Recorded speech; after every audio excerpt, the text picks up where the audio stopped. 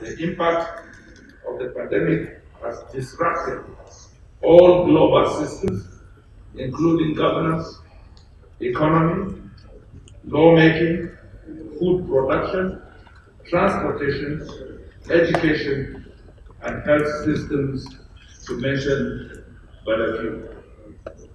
The most advanced systems in the world have been tested to their limits. This is therefore the right time for the legislature to recalculate and reposition itself on the delivery of the expected outcomes of the contract with Nigerians because the next three years will be very critical to our nation. The Right Honorable Speaker and leadership, let me pause a bit and give you the global, the African, and the Nigerian statistics as of this morning so that we are mindful of what we are dealing with. The global statistics this morning, Your Excellency, stands at about 16 million people infected. Number of deaths is about 650,000. In Africa, the rate of infection is 814,000 plus, with fatalities of 17,000 plus. In Nigeria, the number is 39,000, almost 40,000 this morning, and the number of fatalities stand at 845,000. Yesterday, I mean, 840, uh, uh, 40, uh, 45, not because the figures are in thousands, so when I came to Nigeria, I couldn't stop because. Yesterday, Friday, recorded the highest number of infections in one day since COVID-19 began to ravage the world. Mr. Speaker, this is in spite of all the investment globally.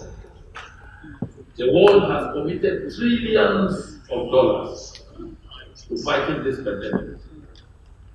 But yesterday, Friday, we had the highest recorded number of infections in one day. The United States of America took about 78,000 of those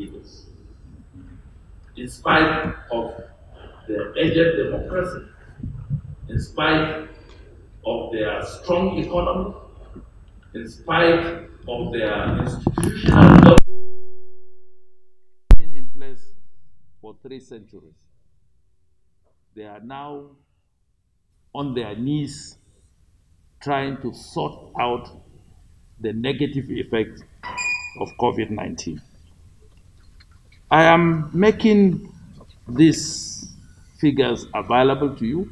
You might have read it, you might have seen it, so that when you go into the course of your deliberations this afternoon, you will be mindful of your position in history, that a lot would have to be done to re engineer, to reconstruct our governance system, our health infrastructure, and that can only happen when the legislature is up to the task of making adequate regulations and rules and laws that would help us situate every aspect of our national being in the context of COVID, of post COVID 19.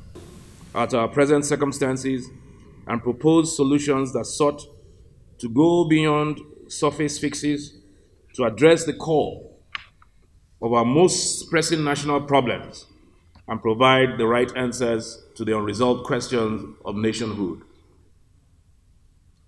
However, in all our planning and imagining, we did not know that the world would soon change drastically in ways we could not then conceive of, and with consequences beyond our wildest imagination.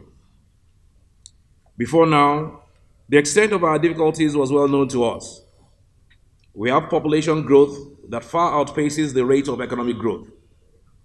Insecurity has made vast swaths of our country uninhabitable for citizens and unattractive to investment.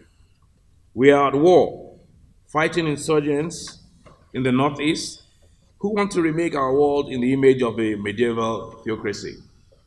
Our education system is producing graduates who cannot compete in the 21st century knowledge economy.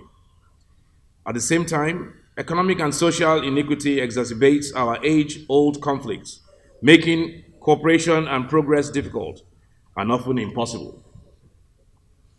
As a consequence of the new realities imposed on us by the COVID 19 pandemic, the question then is how do you achieve your ambitions in a world where the signposts of certainty have moved so far that we can barely even see them or recognize where they used to be? This is the reality from which the Nigerian people are looking to us for lasting solutions. Are we able to rise to the challenges of our times? I believe that we are. This updated legislative agenda and the implementation plan, which we have tagged our contract with Nigerians, sets out the new priorities of this ninth House of Representatives and commits us to a plan of action over the next year and for the rest of our tenure. We have called this document a contract because that is what it is a written account of what we owe the people and how we intend to meet our obligations within the shortest possible time. These documents represent our intention to be held accountable based on what we have freely committed to, to achieving, and which I am confident we will realize to the glory of God and the edification of our people. Our gathering here today is first to present this document to the public.